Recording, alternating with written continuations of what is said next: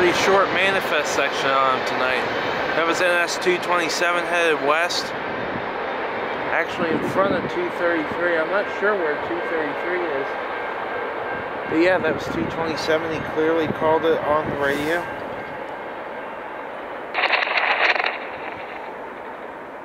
So yeah, strange. Thanks for watching.